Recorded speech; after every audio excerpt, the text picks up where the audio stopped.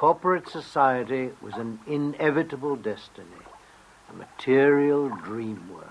Everything man touched became attainable. Love. Sound.